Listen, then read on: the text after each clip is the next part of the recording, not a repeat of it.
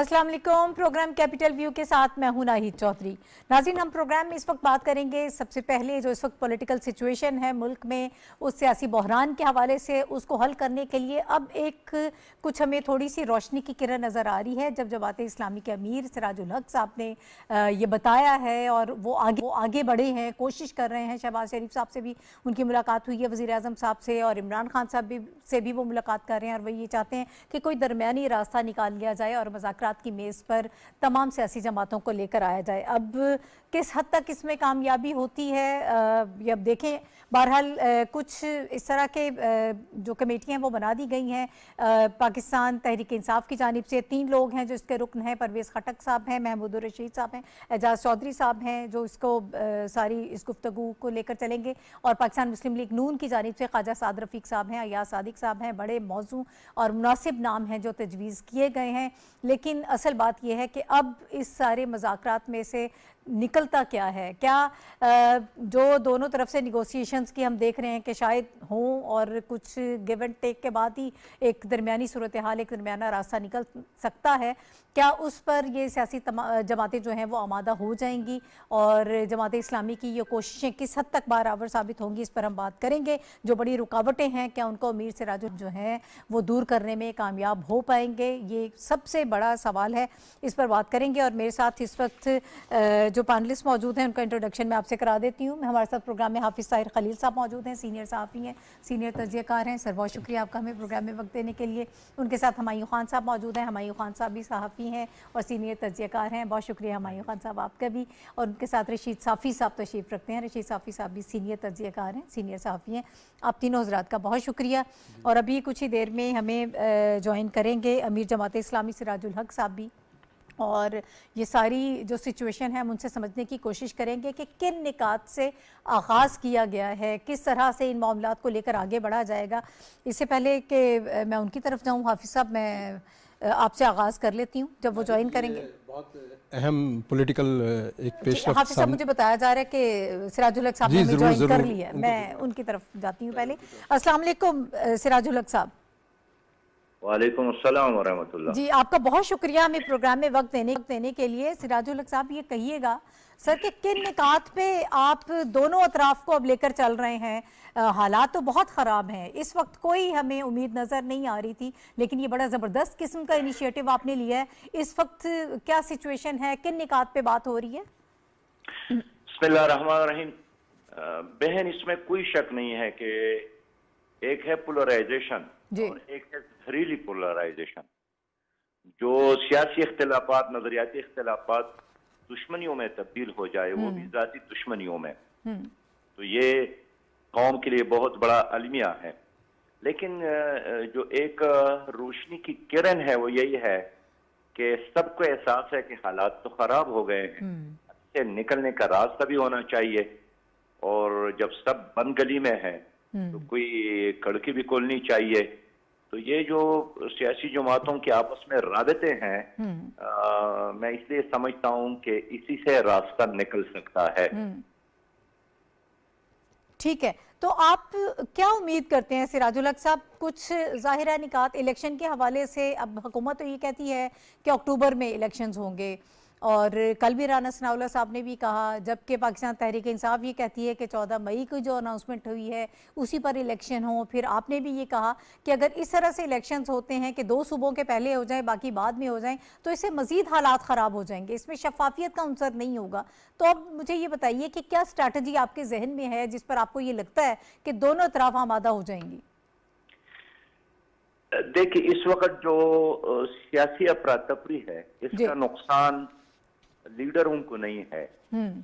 और जितने लीडर है खुदा के फजल से खुशहाल घराने हैं खुशहाल लोग हैं नुकसान हम्म। सौ फ़ीसद आवाम को है exactly. मिसाल तरबूज की तरह है हाँ। चुरी पर गिरे या चुरी उस पर गिरे दोनों सूरतों में उसका नुकसान होता है हम्म।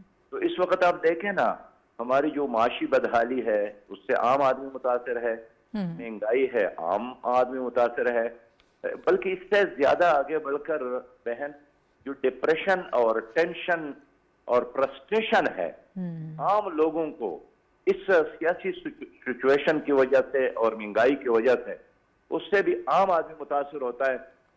तो मैं इसलिए समझता हूँ कि पीटीआई का अपना एक मौकफ है फ़र्ज़ करे सौ फ़ीसद पीटीआई के मौकफ के मुताबिक काम हो भी जाए। यानी एक पंजाब में इलेक्शन हो जाए तो क्या उससे मौजूदा माहौल ठीक होगा। हाँ। है उसके नतीजे के बाद आप देखेंगे। खैबर पुख्तनख्वा में इलेक्शन होगा हम्म। ज़िंदगी इलेक्शन होंगे। यानी मुख्तसर ये कि फसाद और इंतज़ार में इजाफा होगा।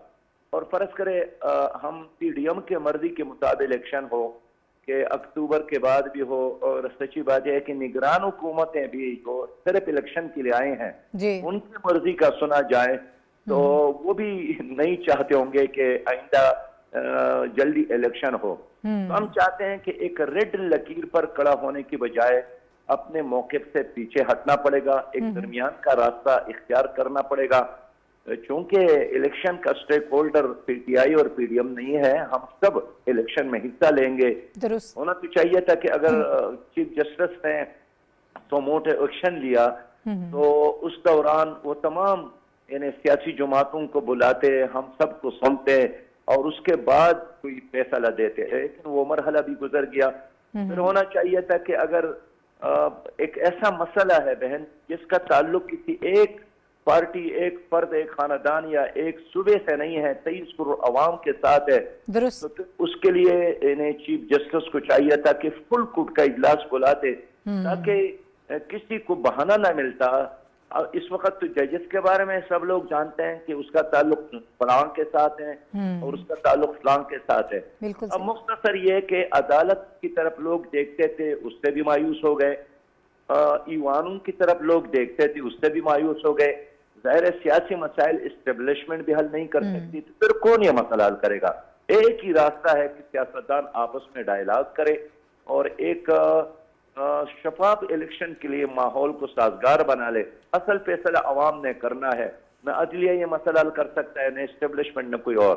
हम्म बिल्कुल इसमें तो कोई दूसरी राय नहीं है। आप बिल्कुल दुरुस्त फरमा रहे सर, मुझे ये कहिएगा कि कितनी उम्मीद है आपको कि ये इस वक्त जो आप करवा रहे हैं सारे मुजाकर या डायलॉग की राह हमवार कर रहे हैं।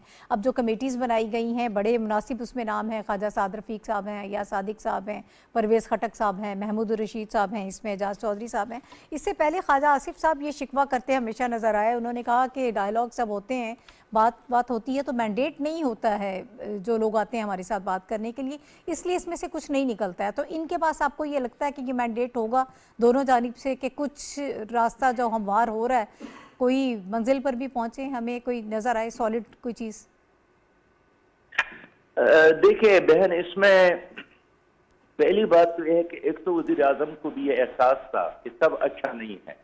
दुरुस्त ठीक है। और खुद इमरान खान को भी एहसास था कि हालात तो ठीक नहीं है हम्म।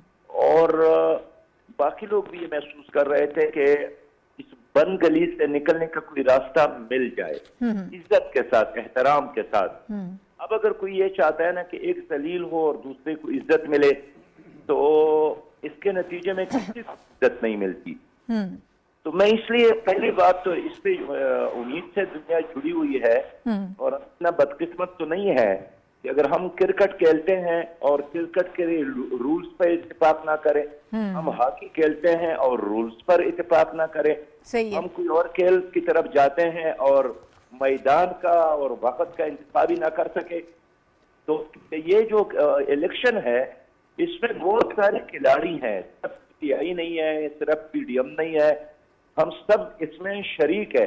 ठीक है। चाहते हैं कि हम क्यों एक ऐसे एक्सरसाइज में जाएँ हम्म, हम्म, हम्म। और वक्त और सलाहियत लगा ले जिसका नतीजा निकलना नहीं है जिसको कोई तस्लीम नहीं करेगा तो उसका नुकसान सौ फ़ीसद आवाम का होगा। सियासतदान सिर्फ़ सियासत करेगा लेकिन आवाम तबाह हो जाएगी बर्बाद हो जाएँगे। महँगाई में इजाफा होगा। अब देखेंगे इंतज़ार होगा मीशत और बैठ जाएगी। करेंसी और खत्म होगी। डॉलर बिल्कुल सही। अच्छा तो क्या ये मुमकिन सिराजुल साहब सर आप मुझे ये बता पाएँगे जिस एपीसी के लिए आप कोशिशें कर रहे हैं कब तक उसका इनका हो पाएगा? कब तक हमें ये लगेगा कि एपीसी जो है जो मुजविजा जमात इस्लामी जिसके लिए कोशिशें कर रही है जिसमें सब बैठेंगे? हम राबते कर रहे हैं लीडरों के साथ और दूसरा मसला ये है कि दरमियान में भी है तो इसके बाद के साथ रबती भी और कंसर्न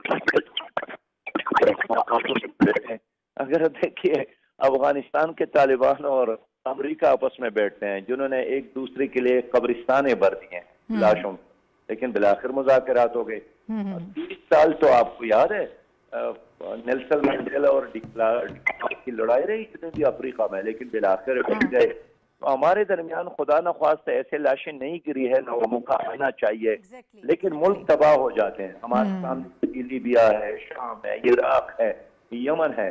मुल्क बचाने के लिए ना अमेरिका आएगा ना सऊदी अरब आएगा ना कोई चाइना और ईरान आएगा। ये हमें खुद बचाना है। यानी अच्छा अब कुछ टेक्निकल इशू भी आ रहा है बस आखिर में। यानी आपको ये लगता है कि मौलाना फजलुर रहमान साहब और शहबाज शरीफ साहब इमरान खान साहब जरदारी साहब ये सब इस एपीसी में शरीक होंगे ये मिल बैठेंगे। इसके कितने इम्कान आपको लग रहे हैं? मौलाना फजल रहमान साहब भी हमेशा करते चले आ रहे हैं और जरदारी साहब भी हमेशा बातचीत करते चले आ रहे हैं। दोनों कोई नवारिद नहीं है हम्म। और खुद तो पीपल पार्टी ने भी ख्वाहिश ज़ाहिर की है कि इलेक्शन के अलावा और कोई रास्ता नहीं है। हाँ। जरदारी का खिताब असम्बली में आपने सुना होगा। बिल्कुल हाँ जी। चाहते हैं कि अक्टूबर से आगे जाए। मौलाना फल रहमान साहब से भी हम रबता करेंगे इन हम्म। ताला। तो रबतों के नतीजे में रास्ता निकलना है। मैं ये कहता हूँ ना बहन के सियासत अपनी नजरियात अपने काम अपना। हाँ खेल में जिस मैदान में लड़ना है उसके लिए कोई रूल्स पर तो इतफाक करे ना। ऐसा ना हो कि सारा दिन हम लड़े और आपस में नतीजा कुछ भी ना हो तो फिर क्या होगा? इसलिए अगर जनरल इलेक्शन पर सियासी जमातों का इतफाक राय नहीं हुआ हाँ जी। तो फिर यही होगा कि बल्दियाती इलेक्शन होंगे जो कोई और करेंगे और शायद ये एम एन एज और ये एम फिर बल्दियात में हिस्सा देंगे ठीक है। बहुत शुक्रिया अमीर जमात इस्लामी सिराजुल हक साहब हमारे साथ मौजूद थे और हाफिज साहब बहरान से निकालने की कोशिश वो कर रहे हैं। कि कुछ हालात बेहतर हो जाएँ आखिर जाना अपने मुजाकरात की तरफ़ ही है। तो अभी आपको क्या लग रहा है? किस हद तक कामयाब ये नाहिद बात यह है कि ये जो कशमकश चल रही है तकरीबन एक साल से हम्म। और जो सियासी तनाव की कैफियत है उसको ख़त्म करने के लिए ये एक बड़ी संजीदा और बहुत अहम मूव शुरू की है जमात इस्लामी की जानब से। और दोनों फ़रीकैन से उनकी मुजाकर भी हुए हैं प्राइम मिनिस्टर से उनकी अच्छी मीटिंग रही है प्राइम मिनिस्टर ने भी एग्री किया है कि मुजाकर सियासतदानों के दरमियान बहुत ज़रूरी हैं हम्म। और सियासत में मुजाकर का दरवाज़ा बंद नहीं होता हम्म। और ये अच्छी बात है कि इमरान खान भी माने हैं और वो उन्होंने भी एक टीम बनाई है और दूसरी जानब पी एम एल एन ने भी टीम बना दी है, है हाँ।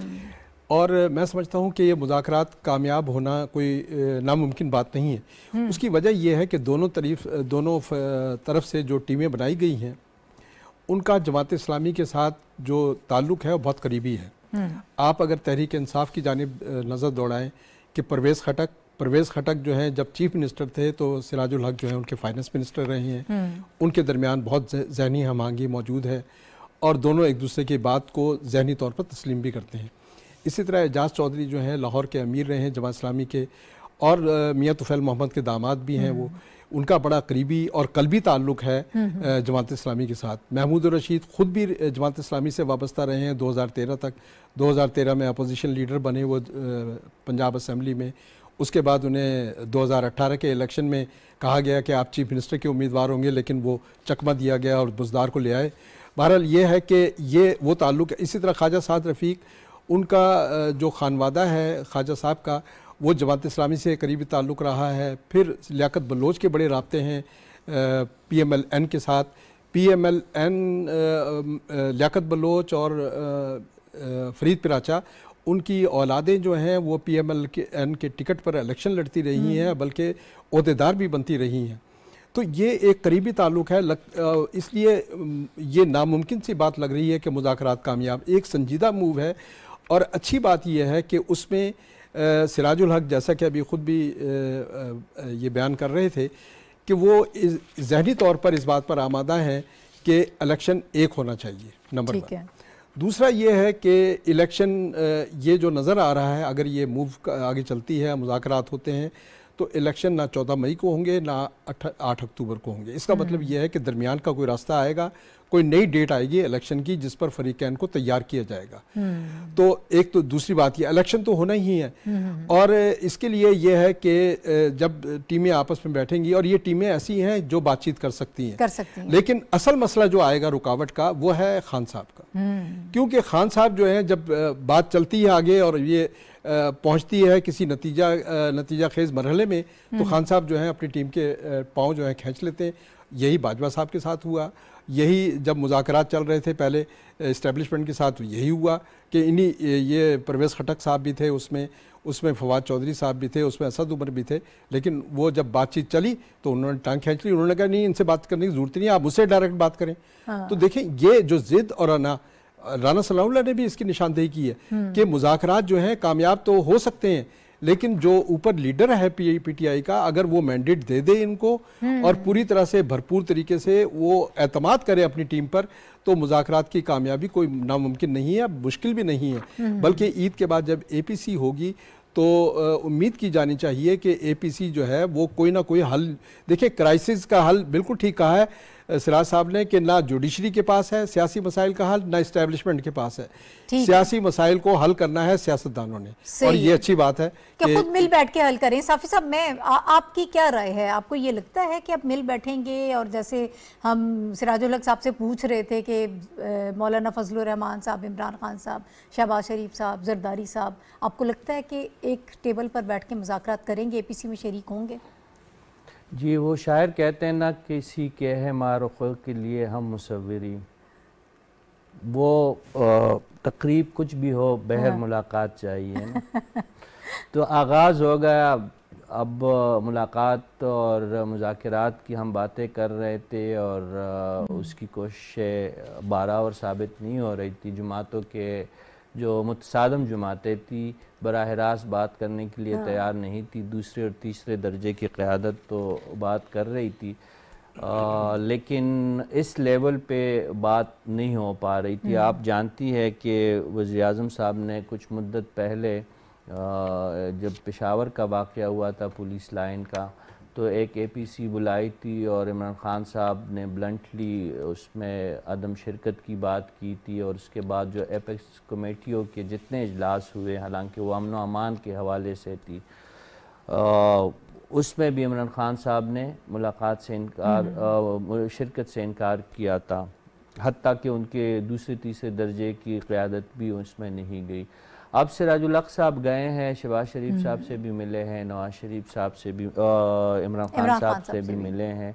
और उनको कुछ इशारे मिले होंगे कुछ मस्बत इशारे मिले हैं तभी तो ये कमेटियाँ दोनों साइड से बनी हैं। वैसे भी अमूमी तौर पर यही होता है कि पहले दूसरे और तीसरे दर्जे की क़्यादत जो है वो मिल बैठते हैं। और सिराज सिराजुल साहब की बातों से भी आपने अंदाज़ा हम्म। लगा लिया होगा।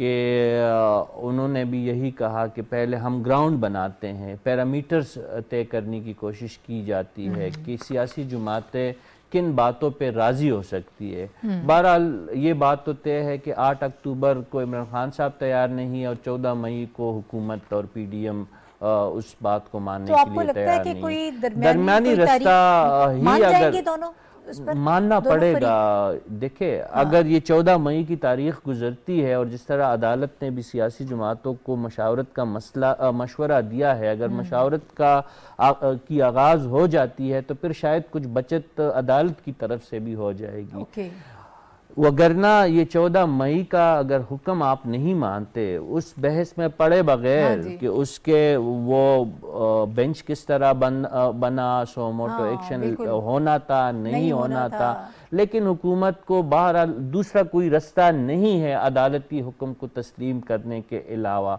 हम्म। भुट्टो साहब को फांसी की सज़ा सुनाई गई और हम्म। आज अदालत खुद मान मान रही है हम्म। कि उनके साथ ज्यादती हुई थी लेकिन भुट्टो साहब ने पंदा गले में डाला और अदालती फैसले को तस्लीम किया इससे हम्म। पहले नवाज़ शरीफ साहब जानते बूझते कि पानामा का फैसला में उनके साथ ज्यादती हुई है लेकिन वो बे, बेटी का हाथ ताम के पाकिस्तान हम्म। आए और उस फैसले को उन्होंने कबूल किया और गिरफ्तारी दे दी हम्म। ये सारी चीज़ें तारीख का। हिस्सा है वो तारीख बाद में तय करती हैं कि अदालत ने अच्छा किया या बुरा किया फैसला ठीक था या गलत था वाहिद रास्ता ही मुजाकरात है और दरमियानी रास्ता इख्तियार करना जो है वो हुकूमत की भी मजबूरी है और इमरान खान की भी मजबूरी है। आपने सुना कि सिराजुल साहब को ये यकीन था कि नवाज़ शरीफ शहबाज शरीफ साहब भी बैठ जाएँगे मौलाना फजलरहमान साहब भी बैठ जाएँगे जरदारी साहब तो वैसे भी मुफाहमत के बादशाह कहलाते हैं।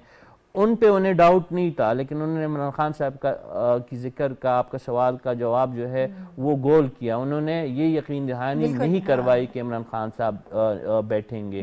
यही नुकता जो हाफिज साहब भी फरमा रहे थे ये सबसे अहम है इमरान खान साहब को बैठना पड़ेगा। अगर नहीं बैठेंगे सियासी और आइनी और पार्लिमानी निज़ाम को नाकबली नाकबिल तलाफ़ी नुकसान पहुँचने का अच्छा, जो है कुछ रियलाइजेशन साफी साहब शायद होगी अब उनको भी थोड़ी समझ आ रही है कि चीज़ें किस तरफ़ जा रही हैं। या ज़्यादा पेचीदा हो जाएँगे मामला अब हमें बैठना चाहिए। इसी वजह से थोड़ा मसबत ये तो आपको हमायूं खान साहब कई मरतबा बता चुके हैं कि सबसे बड़ी जो बड़ा मसला इमरान खान साहब को यही लाक है कि उनके जहन में एक खन्नास है और वो ये समझते हैं कि वो अकल कुल है। हम्म। उनको कोई डिवाइन उन पे कोई इंटरवेंशन उनके साथ होती है या उनको डिवाइन कोई सिग्नल मिलते हैं और उसी के तहत ही वो चलते हैं।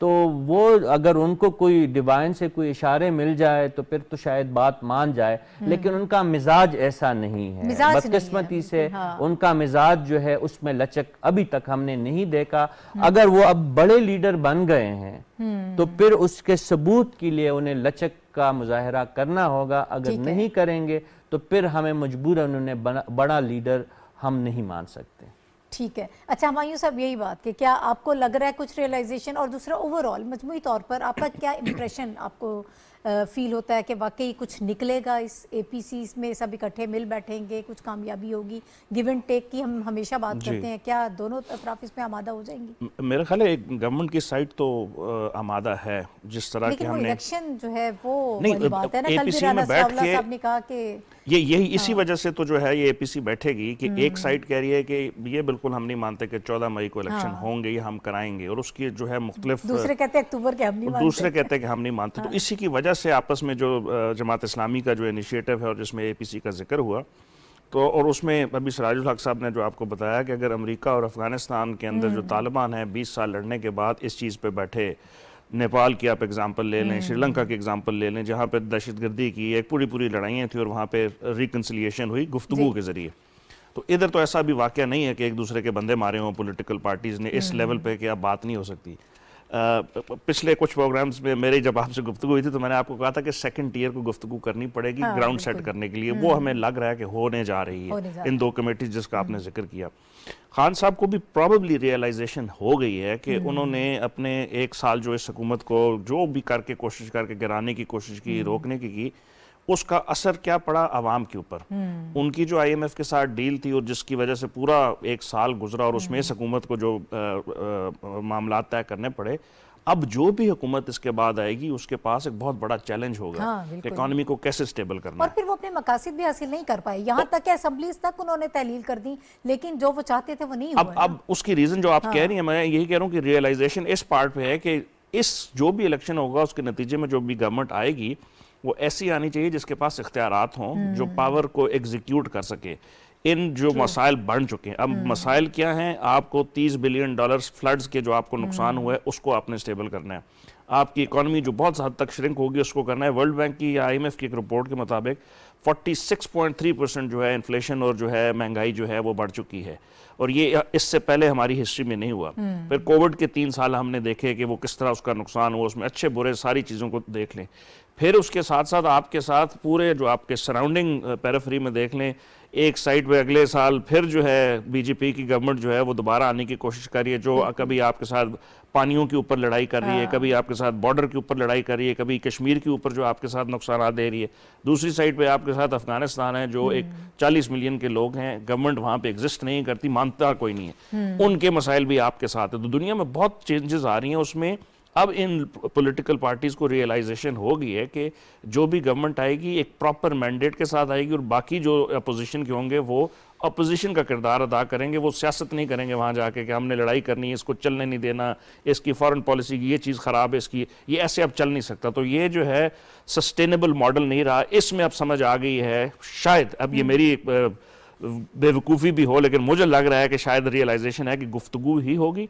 और एक मिडल डेट आएगी जो शायद जून जुलाई के बाद जो बजट है उसके बाद जो है आपने केयर टेकर सेटअप के साथ इलेक्शन कराने। अगर अक्टूबर नहीं कराने मई नहीं कराने तो जुलाई अगस्त जो है एक फीजिबल डेट बन सकती है। बड़ी ऑप्टिमिस्टिक अप्रोच है आपकी और अल्लाह करे कि ऐसा ही हो क्योंकि आवाम की ये ख्वाहिश है इस वक्त। अच्छा हाफिज साहब मुझे ये बताएँ जो दूसरा मामला है जो फंड्स का इलेक्शन कमीशन को फंड्स जो देने हैं और स्टेट बैंक को डायरेक्टली ज़ाहिर ऑर्डर कर दिया गया है लेकिन आज उसमें एक पेशरफ ये हुई है कि आज सुबह कायमा कमेटी का ख़जाना का इजलास था कैसर हाँ। शेख साहब की सदारत में और उन्होंने जो एडवाइस दी है मेरा ख्याल है कि ये एक मुनासिब भी है कि कैबिनेट जो है वो उसे वो एक समरी मूव करे हम्म। और कैबिनेट समरी मूव करने के बाद फैसला करे कि आया ये फंड्स रिलीज़ करने हैं नहीं करने हम्म। और उसमें ये कायमा कमेटी में ही कायम मकाम गवर्नर ने ये बताया कमेटी को कि हमने फंड्स मुख्त कर दिए हैं लेकिन रिलीज़ नहीं किए हाँ। ये रिलीज़ उस वक्त होंगे जब गवर्नमेंट उसको ऑन करेगी या गवर्नमेंट रिक्वेस्ट करेगी।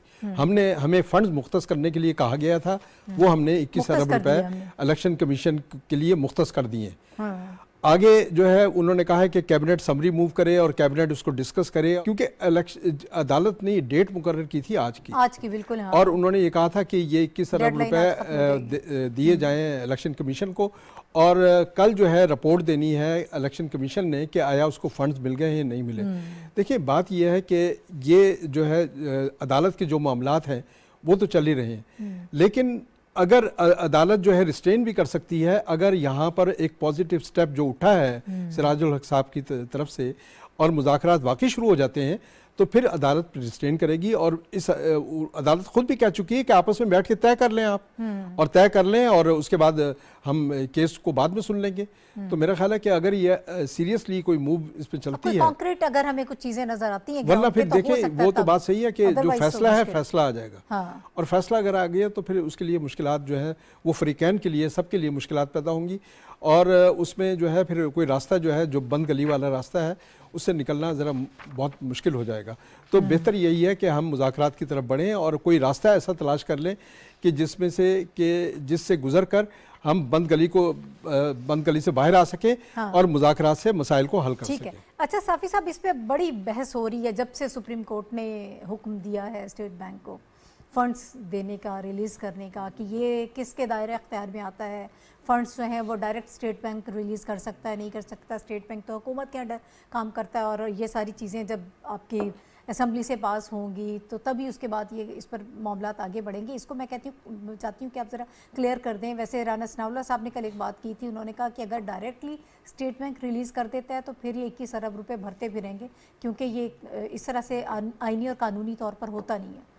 लेकिन नाहिद इदारों के बीच में तसादम की कैफियत तो बहुत ही खौफनाक है। हम्म। वो गालिब ने कहा था चिपक रहा है बदन से लहू लहू से पैराहन। हाँ, हमारी जेब को अब हाजत रफू क्या, क्या है, है? तो हालत तो वहाँ तक पहुँची है कि रियासत इदारे इतने आपस में हम्म। लड़े हैं कि हमारी सियासी निज़ाम के जिसम से खून रस रहा है। हम्म। आ, लेकिन बात वही है कि मफाहमत की कोई हम्म। राह तो हमने निकालनी है उम्मीद पे दुनिया कायम है हम्म। और आ, किसी न किसी ने तो पहल भी करना था हाँ। और क्योंकि ये जो फरीक़ैन थे उन्होंने तो कुछ नहीं करना आ, था अब ये सिराजुल्लक साहब की पहल से कुछ उम्मीदें तो पैदा हुई है आपने स्टेट बैंक की बात की तो आपको याद है कि जनाब इमरान खान साहब के दौर में स्टेट बैंक को एटोनमस बॉडी डिक्लेयर की गई थी और आ, आ, इनको फुल इख्तियार दिए गए तो उस पर काफ़ी सियासी बहस मुबासा भी हुआ था कि स्टेट बैंक को गैर मुल्की आलमी इदारों के हवाले किया गया है तो अब स्टेट बैंक बहुत सारी बंदिशों हम्म। में सरकार की जो इन्फ्लुएंस है या एग्जेक्टिव की जो इन्फ्लुएंस है वो अपनी जगह पे है लेकिन बहुत सारे आलमी बंदशों में भी बंधा हुआ है हाँ। जो इमरान खान साहब ही का कारनामा हम्म। है इमरान खान साहब बेहतर जानते हैं कि उसके क्या इम्प्लिकेशन इस वक्त सामने आ हम्म। सकते हैं इसलिए स्टेट बैंक अगर चाहेगा भी तो हम्म। वो अदालती अहकाम पे डायरेक्ट इस कदर का बड़ा फंड जो है वो जारी नहीं, नहीं कर, कर सकता। यही वजह है कि आज कायमा कमेटी और कायमा कमेटी ने फिर रेफ़र किया है। हाफिज साहब ने उसको फिर तफसील से बात की हम्म। कि वफाकी वजारत ख़जाना को ये हम्म। बात चली गई। तो बात उसी तरफ़ जा रही है कि डिलेंग का जो एक प्रोसेस है वो स्टार्ट है और जो अदालत की ख्वाहिश है कि जल्द जल्द इंतबात हो उसमें कानूनी पेचीदगियाँ बहुत है हम्म। और इसमें कुछ कानूनी पेचीदगियाँ है और कुछ अगर मैं कुल की बात करूँ कुछ नीयत में भी फतूर हैं हम्म। दोनों जानब से तो हुकूमत और पीडीएम की यही ख्वाहिश है कि बर वक्त इंतबात हो हम्म। जो इसम्बलियाँ तोड़ी गई थी किसी ख्वाहिश पे दो सूबों की आ, वो वो नहीं चाह रहे हैं कि कौमी इसम्बली और ये जो बाकी दो सूबाई इसम्बलियाँ है वो अपनी आइनी मुद्दत से कबल टूटे या हम्म। इनका ख़ात्मा हो और इमरान खान साहब का ये मुतालबा सामने कुल के आ रहा है कि वो ये चाहते हैं कि कौमी इसम्बली भी तहलील हो हाँ। और ये दो सूबाइया इसम्बलियाँ भी तहलील हो तो फिर हम बात आगे बढ़ा सकते इसके लिए फिल वक्त तो पीडीएम और पीपल्स पार्टी तैयार नज़र नहीं आ रही है और जरदारी साहब ने तो कुल हम्म। के कहा कि उन्होंने तो आइन का हवाला भी दिया हम्म। कि आइन में ये गुंजाइश मौजूद है कि तमाम सूबाई और वफाकी जो इंतबात है वो एक वक्त पे हो हम्म। लेकिन मुख्तलफ़ अवकात में इंतबात मनद करवाने से सियासी और पार्लिमानी हम्म। पेचीदगियाँ पैदा होंगी। तो उनके इस बात में काफ़ी वज़न है। हम्म, हम्म। अभी दरिया पुलों के नीचे बहुत सारा पानी ने गुजरना है और मुझे नहीं लगता कि 14 मई का जो जो एक डेडलाइन है आ, उसके मुताबिक इलेक्शन हो जाए और जो ख्वाहिश है एक ख़ास तबके की इदारों के अंदर भी और सियासी हलकों में उनकी ख्वाहिश जो चौदह मई की है और as soon as possible election करवाने की जो है हम्म। वो इस वक्त मुझे वो ख्वाहिश पूरी होती हुई नज़र नहीं आ रही ठीक है हमायूं साहब आपकी इस पर क्या राय है कि अब मामला घूम फिर के ज़ाहिर है कि फिर असम्बली में अगर वो बिल पास होता है ये इस तरह से आगे फिर चीज़ें बढ़ेंगी तो हालात कुछ बेहतर नहीं लग रहे हैं अब कल ज़ाहिर है कि इलेक्शन कमीशन ने रिपोर्ट करनी है सुप्रीम कोर्ट को तो फिर क्या लग देखिए इसमें अगर देखा जाए तो अब फैसला फिर जो है एक तरफ़ कोर्ट की तरफ़ चली गई हाँ। है बॉल जो है और दूसरी तरफ़ जो गवर्नमेंट है उन्होंने उसको नेशनल असम्बली में भेज दिया हम्म। दोबारा आज कैबिनेट से वो अप्रूव होने के बाद दोबारा वहाँ पे जाएगा मनी बिल के तौर पर उस पर वो फैसला करेंगे कि देना हम्म। है या नहीं जो कि मोस्ट लाइकली होगा कि हमने नहीं देना क्योंकि वो हम्म। कह चुके हैं कि इस टाइम पे नहीं करना तो ये जो देख रहे हैं आप इसके कितना इसके दो कॉन्सिक्वेंसेज हो सकते हैं लेकिन एक जो इसमें बेहतरी की चीज़ अभी हमें नज़र आई जिसका हमने ज़िक्र किया सबने पहले कि एपीसी का जो है इनका हम्म। होने लगा है तो अगर अदरिया की तरफ़ से एक स्ट्रेटिजिक रिस्ट्रेंट का मुजाहरा किया जाए थोड़ी देर के लिए चूँकि वो भी यही चाहते हैं कि मामला जो हैं क्राइसिस ख़त्म हो economic crisis judicial crisis political सारा ख़त्म हो हम्म। तो अगर उनकी तरफ़ से कुछ आता है और ईद के। बाद ये बात शुरू हो जाती है और पोलिटिकल पार्टीज़ आपस में गुफ्तु करती हैं तो शायद एक तारीख दे दी जाए हम्म, जिसके बाद इनको मैसेज दे दिया जाए कि आप अपने फैसले कर लें और अगर ये नहीं होता तो बात फिर और ख़राबी की तरफ़ जाएगी और उसमें यही हो सकता है कि ऐसे फैसले अदालत की तरफ़ से आए जिसमें जो सुन रहे हैं जो कर रही हैं। जो उसके लिए ख़राब होंगे। हाँ। इस जो मौजूदा हालात उसमें और ख़राबी पैदा करेंगे। देखें इलेक्शन एक दिन कराना जो है फाइनेंशियली। भी ठीक है और पॉलिटिकल हाँ, स्टेबिलिटी अगर पंजाब में हो जाते हैं का एलिमेंट बहुत ज़्यादा उसमें नुमाया स्टेबिलिटी बहुत अहम है उसमें। करवा देंगे बाकी आबाद में करवाएँगे? देखें ना आपके अगर पंजाब में गवर्नमेंट बन जाती है किसी की भी और हम्म। उसके बाद वहाँ पे नेशनल असेंबली के इलेक्शन होते हैं और गवर्नमेंट जो है वो किसी और पार्टी की होती है तो वहाँ पे नेशनल असेंबली की सीटें कोई और जीत जाए उन्होंने बात नहीं मारनी जो भी जीतेगा। हम्म। तो ये ज़रूरी है कि प्रोविंशियल और नेशनल असेंबली के इलेक्शन एक दिन हो और ये फैसला होगा एपीसी के अंदर कि कब हम्म। होने और मेरी अभी भी उम्मीद है किया गया था हम्म। कि वफाकी जो कौमी असम्बली के इंतबात तो पहले हो जाते उसके बाद सूबाई असम्बली के हो जाते उससे काफ़ी पेचीदगियाँ पैदा हुई फिर आइनी तरामीम करके एक ही दिन में पूरे मुल्क में इंतबात करवाने का जो फैसला किया गया तो ये सोच समझ के किया गया है इससे हम्म। पीछेदियाँ पैदा होती है अगर आप मुख्तलिफ़ अवकात हम्म। में इंतबात मुनद करवाते हैं अच्छा हाफिज़ साहब जरदारी साहब इस बात पर आमादा हो जाएँगे। उन्होंने भी रिसेंटली एक इंटरव्यू दिया। उन्होंने कहा कि सब हम भी ये चाहते हैं कि अक्टूबर में हो इससे आगे इलेक्शंस ना आए। अब सिराजुल हक साहब ने एक बात ये भी की। उन्होंने कहा कि अगर मिल बैठ कर आपने कोई मज़ाक करने हैं ज़ाहिर है कुछ निकात तो ऐसे होंगे ना जिन उन्होंने ये कहा कि सिंध और बलोचिस्तान की असम्बलियाँ आप तहलील कर दें। वक्त से पहले मतलब अगर दरमियानी सूरत हाल आपने निकाली तो करना पड़ेगा। बिल्कुल तो जरदारी साहब आमादा होंगे। देखिए जरदारी साहब खुद भी ये कह रहे हैं। और बिलावल भुट्टो एक से ज़्यादा मरतबा ये बात कह चुके हैं कि इलेक्शन से पहले पॉलिटिकल पार्टीज़ को बिल आखिर बैठना पड़ेगा रूल्स ऑफ़ द गेम तय करना पड़ेंगे। और पीपल्स पार्टी खुद भी इस बात के लिए पीपल्स पार्टी देखें कमर जमान उन्होंने तीन रुकनी कमेटी बनाई। हम्म। कमर जमान कायरा उसके हेड थे और वो उन्होंने जमात इस्लामी के साथ भी रबता किया उन्होंने एम क्यू एम के साथ भी रबते किए बाप पार्टी के साथ भी किए तमाम पार्टियों के साथ उनके रबते हुए हैं। तो पाकिस्तान पीपल्स पार्टी खुद इनिशिएटिव ले रही है ताकि ये डेड लॉक जो है टूटना चाहिए हाँ और ख़ास तौर पर यह तासर ख़त्म होना चाहिए कि सियासत जो है वो एक बंदगली का नाम आ गया है हम्म। अगर ये ये हो गया तो हमारी सियासत नाकाम सियासत करार दी जाएगी तारीख में हमें तारीख को बदलना पड़ेगा हम्म। तारीख को एक खुश आइन पहलू की तरफ़ ले जाना पड़ेगा और उसका तरीका यही है कि जो इस वक्त पेशकश हुई है उसको आगे बढ़ाया जाए और मेरा ख्याल है कि इसमें एक रास्ता बन सकता है कल। देखें कल जुडिशरी ने एक डेड लाइन दे रखी है तो आज तो नेशनल असम्बली का जो भी सेशन होगा वो तो मुफ्ती अब्दुल शकूर की वजह से मुलतवी हो जाएगा हम्म। ताज़ियत के बाद और कल ही कार्रवाई हो सकेगी तो जो भी होना है वो कल ही होना है। हम्म। तो अगर ये एक इनिशिएटिव जो है वो आ जाता है पॉलिटिकल पार्टीज़ की तरफ़ से और ये मैसेज चला जाता है अदालत को कि हम बैठने के लिए तैयार हैं और मुजाकर कर रहे हैं और उसके लिए इनिशिएटिव जो है जो लिए गए हैं हम्म। उसके मुताबिक हम आगे बढ़ रहे हैं। तो मेरा ख्याल है अदालत अगर अदालत इस बात पे यकीन कर लेती है इस, इस अदालत जो है पीछे हटेगी। कि वाकई आप सीरियसली अदालत ने खुद भी कहा है कि ये काम सियासी जो सियासी हम्म, काम है वो खुद सियासतदानों को तय हम्म। करने चाहिए।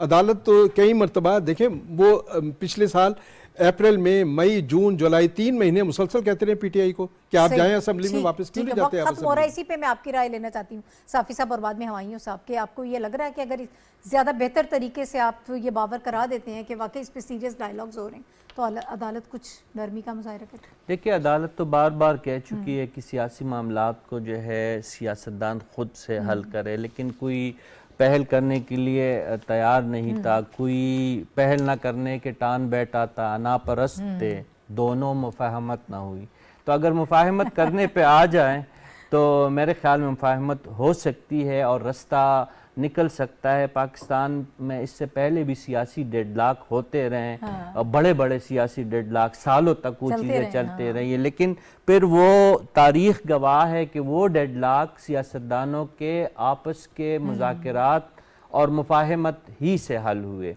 नवाज़ शरीफ साहब और बेनज़ीर भुट्टो साहबा के हम्म। बीच में कितनी बड़ी सियासी दुश, दुश्मनी चली थी हम्म। और सालों तक और दिहाइयों तक चली थी लेकिन, लेकिन फिर मुजाकर के ज़रिए हल हुए भुट्टो साहब का जो है आप देख ले अपनी हम्म। सियासी मुखालफी के साथ तवील दुश्मनी आ रही। हाँ। लेकिन फिर जब मुजाकर हुए हम्म। तो मामला हल हुए हाँ। और अब यही हमारे तो बड़ा वो शायराना अंदाज में आज बता रहे हैं जॉन एलिया साहब ने कहा था ना कि आओ के इख्तिलाफ राय पे इतफाक कर ले। लगता है इस तरफ़ मामला आएगा। वन लाइनर हमारी साहब देखिए अगर ये नाहिद अगर ये इख्तिलाफात अगर ये मुजाकरात ना होते पाकिस्तान का दस्तूर भी ना बनता ये दस्तूर जो है जो बना है वो इसी उस सियासी मुखालफत हाँ। के बावजूद के अब हुकूमत अपोजिशन बैठने के लिए तैयार नहीं थे मेरा ख्याल क्राइसिस इतना ज़्यादा बढ़ चुका है हाँ। और सिर्फ़ पॉलिटिकल नहीं है वो जुडिशल भी हो गया कॉन्स्टिट्यूशनल भी हो गया और इकोनॉमिक भी हो गया हम्म। तो इन सब चीज़ों में अब हालात इसी का तकाजा करते हैं कि क्राइसिस को ख़त्म करने के लिए गुफ्तु की जाए हम्म। और कोर्ट मेरी ज़ाती राय में एक रिस्ट्रेंट दिखाएगी अगर ये मिलने की कोशिश शुरू कर दे हम्म। ठीक है बहुत शुक्रिया। और उम्मीद भी करनी चाहिए हाँ बिल्कुल बिल्कुल। अच्छे हाँ, हालात है। बहुत शुक्रिया हाफिज़ ज़ाहिर खलील साहब हमायूं खान साहब रशीद साफ़ी साहब मेरे साथ मौजूद थे। और सिराजुल हक साहब ने भी नाजरीन हमें ज्वाइन किया था। जो मजाकरात और आगे ए पी सी होने जा रही है उसके हवाले से हमने काफ़ी चीज़ें उनसे समझने की कोशिश की। अब मामला आगे बढ़ेंगे तो यकीन हम आपको साथ के साथ आगाह करते रहेंगे। आज के प्रोग्राम का वक्त ख़त्म हो गया इजाज़त दीजिए। कल इन दोबारा आपसे मुलाकात होगी। अल्लाह हाफिज़।